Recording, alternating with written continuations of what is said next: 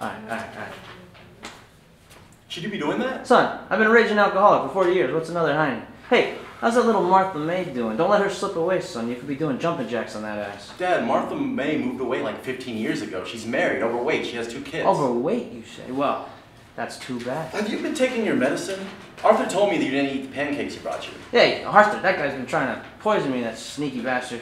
Hey, what about Sarah Jane? I would eat pancakes off her ass all day long. Yes, sir, I would. Sarah Jane left me with Tommy, my former best friend. You Um, remember that? Damn, she was fine.